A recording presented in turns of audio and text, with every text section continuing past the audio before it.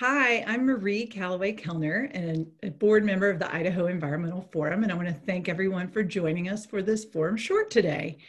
The Idaho Environmental Forum is a nonprofit, nonpartisan educational association whose sole mission is to promote serious, cordial, and respectful dialogue about relevant natural resource issues to Idaho.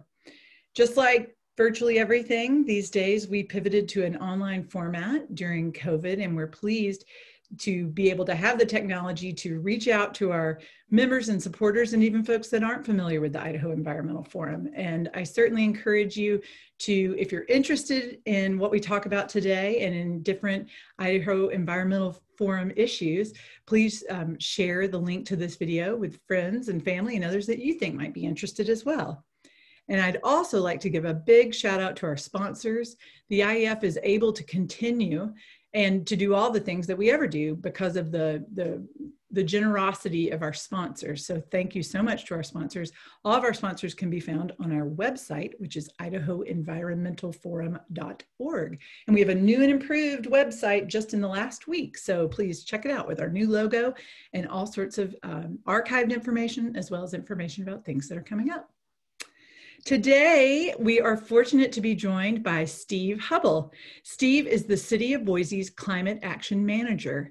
Steve's been with the city for about five years in a variety of roles with the Department of Public Works. Um, he came on as the, oh, excuse me, he came on as the Stormwater Manager and moved into a role as the Energy Future Project Manager. Prior to joining the public works staff with the city of Boise, Steve worked for the Stafford County, Virginia. That's correct, Steve? That's right. Stafford County's um, Department of Public Works, and that's a, a, a, suburban area outside DC in Virginia. We're so thankful to have you here today, Steve. Thanks so much.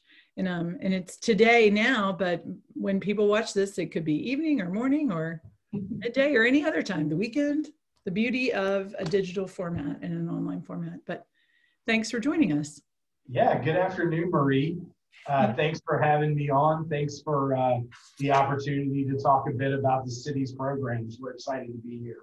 Yeah, well, it's great. Well, we uh, on the you may know this or may not, but the Idaho Environmental Forum on our board, we we have a variety of people that work in a variety of arenas both you know for profit government nonprofit all somehow touching in the world of natural resources in idaho. And when it was announced that the city had a new climate action plan and was starting officially starting a climate action division of which you are the the chief the manager uh, it was something that pique the interest of multiple members of the board. And in fact, one person sent an email, as we often do, with, Hey, have you seen this? Do people know about this? And immediately, numerous other board members wrote in and said, Yes, this is a perfect thing because this is so relevant to, to the IEF community and, and the kind of thing that people are interested in. So, really appreciate you coming here and just wondered if we could get right into it and if you could tell us why the new Climate Action Division was formed. Well, sure, Marie. Thanks again uh, for having us. Uh, you know, we're really excited here about the Climate Action Division. Uh, the mayor, uh, city council, and city government have placed a, a, high importance on these activities over the last couple of years um, within our organization, certainly. And this is really an opportunity to take the exciting news, um, emphasize it, and pivot some of these climate related activities um, out into the community as well. So what we, what's happened is we've taken a couple existing staff, uh, generally that were working on issues related to climate, and then formed them into the Climate Action Division within Public Works. And as I mentioned, it gives us an opportunity to really emphasize the importance of climate action, uh, to consolidate um, our skill set and staffing around this particular issue, and really to start to serve as a voice uh, both internally and externally, about the importance of climate action and the work that we're doing. So, what what will the Climate Action Division do? Sure. So, I think primarily the Climate Action Division will develop and frame uh, the city's action around uh, climate policy for the consideration by the mayor and city council. Uh, and then, in addition, we will implement uh, new climate initiatives going forward, and as well as continue to uh, implement all of the existing activities that the members of our team have worked on um, throughout their careers around energy, air quality, sustainability, and then climate, which will be the core functions of our team and, and our specific staff.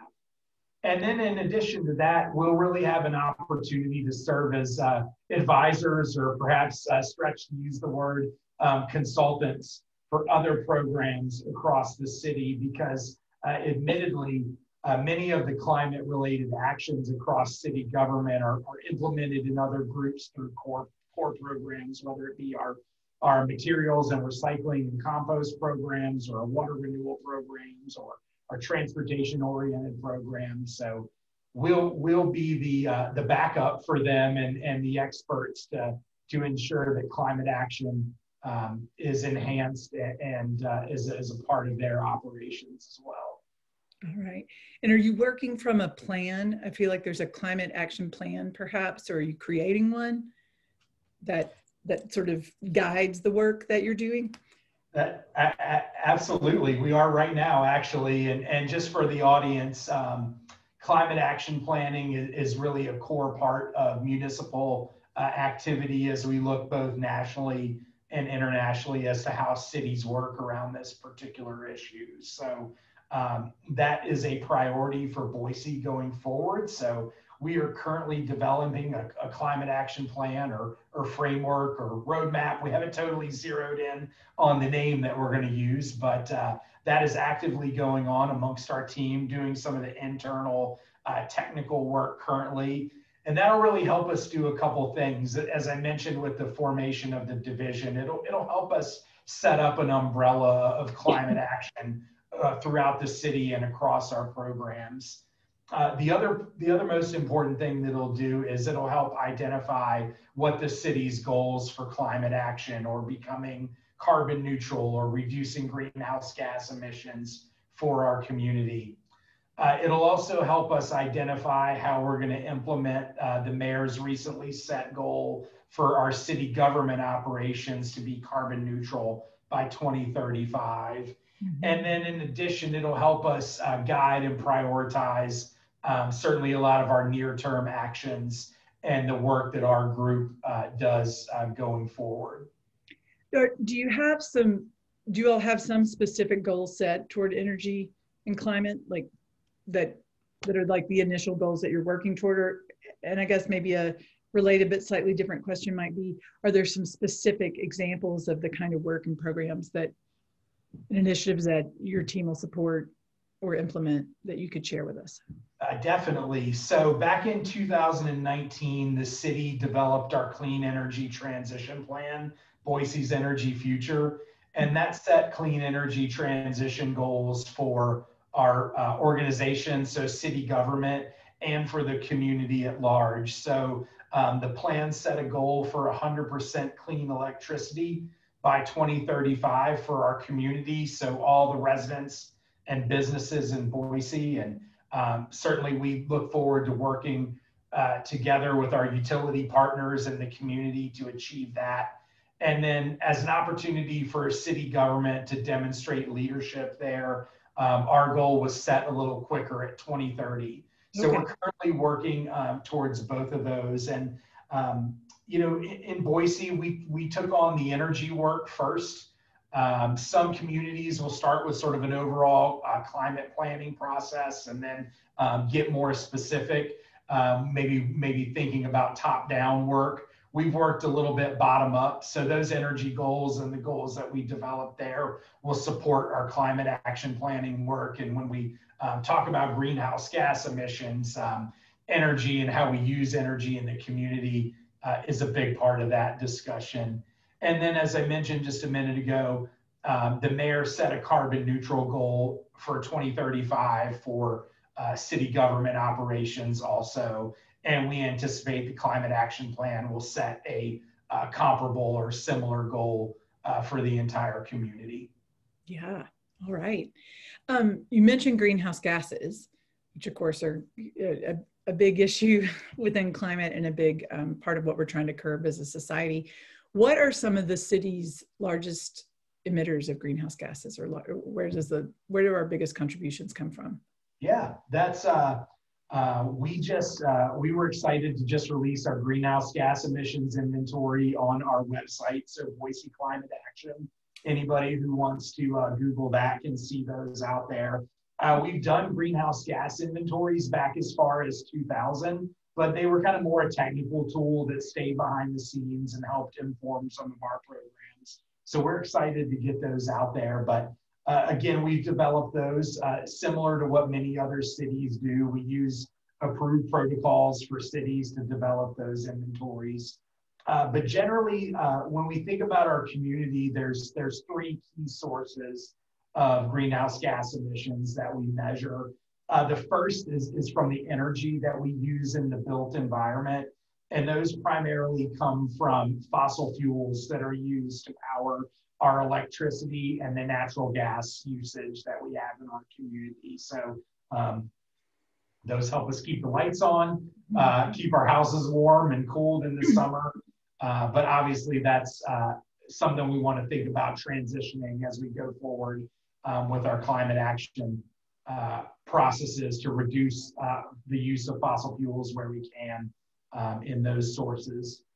In addition to that sort of built environment energy, we also use fossil fuels in our transportation system. So another significant source of emissions are um, our emissions from our transportation sources. So that's our on-road vehicles, so the cars that we all drive, assuming they're not electric, uh, off-road vehicles. So that could be things like uh, dirt bikes or ATVs or heavy equipment, those type of things. And then uh, also emissions from air travel and from airplanes. And then the third um, are the emissions associated with our waste and our landfilling. So obviously the materials that we throw away um, go into the landfill and there is a uh, emissions impact of that that we measure. It's a pretty small portion um, compared to the other two. Okay. And then on the smaller scale, we also do an emissions inventory um, for a city government that brings in a few different factors, but is generally similar to the larger effort for the community. Okay. And so is it fair to say that part of what the climate action team and the division will work on are way essentially ways to curb all of those uses or the emissions related to all of those uses? That, yeah, that's that's one key part of what we'll do. And then, uh, you know, certainly uh, there are some uh, parts of that usage where we are on a good path, I think, towards mm-hmm. um, reducing carbon, like in our electricity system.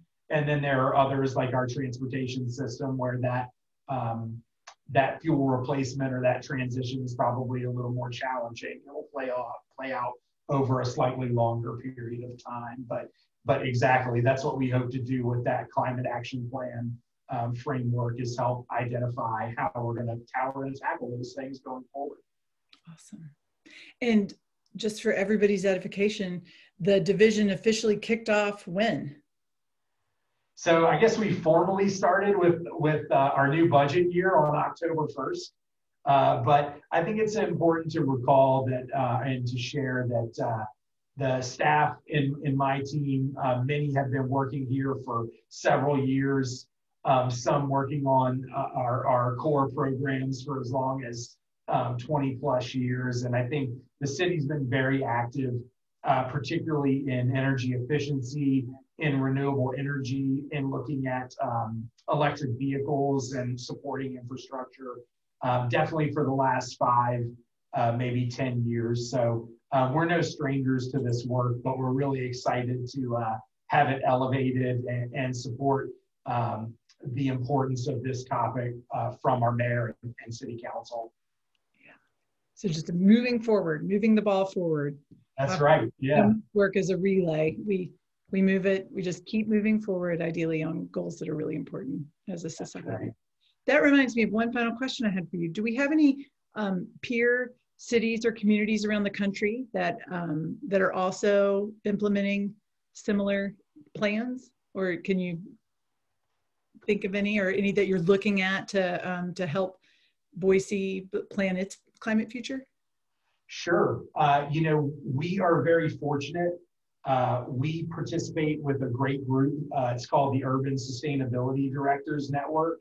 And that's a peer network of, of city staff like myself who work together across the United States and Canada on a wide range of sustainability issues, certainly climate and, and clean energy, but also things like waste and, and green infrastructure and just a wide variety of issues. And uh, the network is really a, a, tremendous source of information. So um, we find great ideas from cities, both large, uh, our size, and then in some cases, uh, small cities. So uh, we're really encouraged by a lot of the work um, that's going on out there. Certainly um, in the climate and energy space, a, a lot of uh, active work in the Northwest. So we certainly keep an eye on what's um, going on there.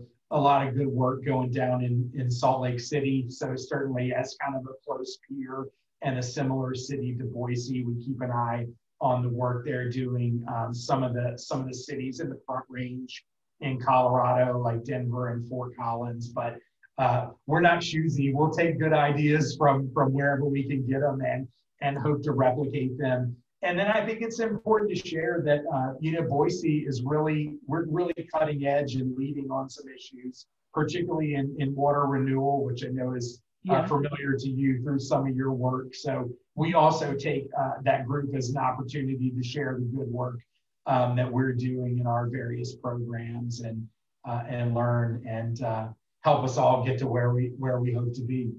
Yeah. Well, Steve, thank you so much. Thanks for sharing about what you're doing, and thanks for doing what you're doing. Um, it's an exciting time for Boise. It's an exciting time for all of us.